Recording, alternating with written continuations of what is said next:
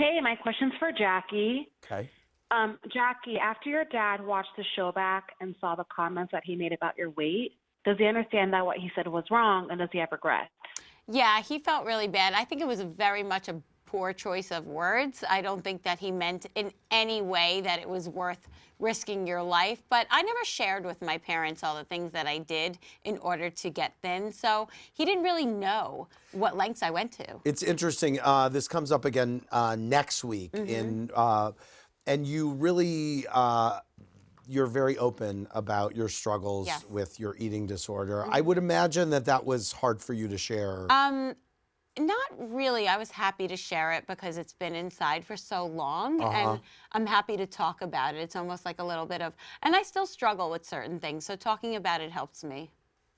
Interesting. Mm-hmm. Um, we haven't, uh, I, you know, yeah, I guess in one other city, we, we in in New York, we talked about eating disorders, but it hasn't come up that much considering how prevalent it is. It's prevalent everywhere. It's Yeah. prevalent in my Yeah. business and in the entertainment business. Women have to be a certain size. And just so you know, too, I have had like very difficult conversations with my own father who's talked about my own weight. Mm-hmm. So that's like a common thing, I think, Yeah. amongst Yeah. women and Yeah. dads. Yeah. Mm-hmm.